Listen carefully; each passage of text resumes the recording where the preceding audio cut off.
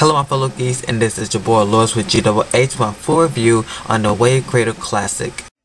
We're smoking and we're sipping,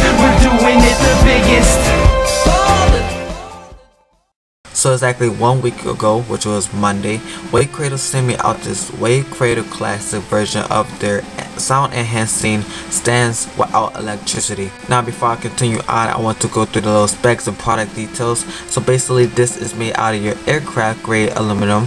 You are slightly built to prevent tipping over. Smooth culture plate that gives crisp, clear sound up to 20 feet away. You also have rubber grip on the front to hold your smartphone or device securely to the device and you also have a rubber bottom surface to protect your desk and prevent slipping of any kind. So let's start with the good. The good is that this device holder is very well built like I said it's made out of aircraft aluminum which is like the high craft material that you always need. For the front you also have this rubber right here which allows your device to stay on there and not slip down or slip off to the left or to the right or even up if that's possible. It's coming down a little. You have these two rubber type of feet that are built directly through the stand which allow your device to sit here. This could be a tablet or a smartphone or even your phablet if you have one.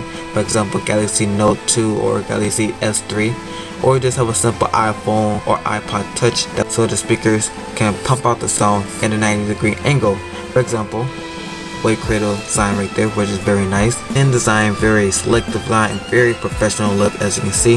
Um, like I said, the two feet right there to hold your device very well. On the back, you will find the Wave Cradle logo, dead center, big and flashing, just like that, but simple on the two feet that goes through the front to the back including Wave Cradle since it's right there in your face um, and I'm gonna be playing Break Your Heart by Taio Cruz featuring Ludacris so enjoy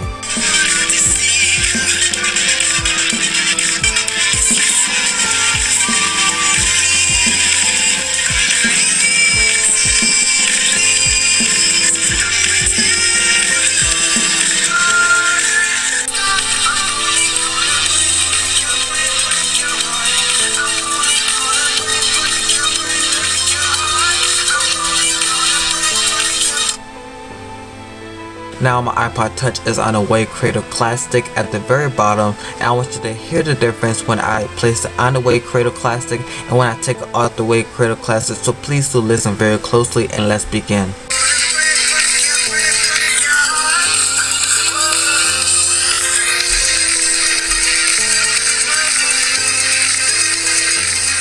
And this has been my full review of the Wave Cradle Class from WaveCradle.com. If you like this video, please give us a thumbs up comment below, share with others, and subscribe right now if you're not yet a subscriber. Till next time, this is your boy Louis with GWH, signing off.